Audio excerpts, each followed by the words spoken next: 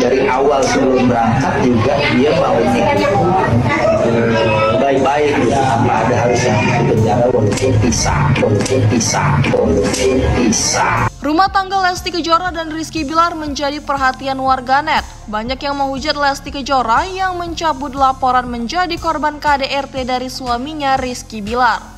Lesti Kejora mencabut laporan setelah Rizky Bilar ditetapkan sebagai tersangka KDRT. Namun ternyata Lesti Kejora sempat berniat untuk bercerai dengan Rizky Bilar. Kabar itu dijawab oleh Ustadz Suhi Al-Bukhuri.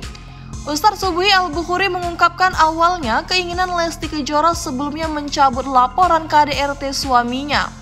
Rupanya Lesti Kejora diam-diam sempat memiliki niatan untuk bercerai dengan Rizky Bilar. Sebelum berangkat umroh, Lesti Kejora memang sudah berniat hendak mencabut laporannya terhadap Rizky Bilar.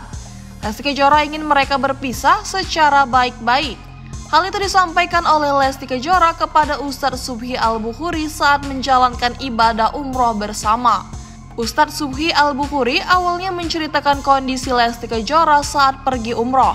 Ia menuturkan dari fisiknya saja terlihat jelas kalau Lesti Kejora masih trauma.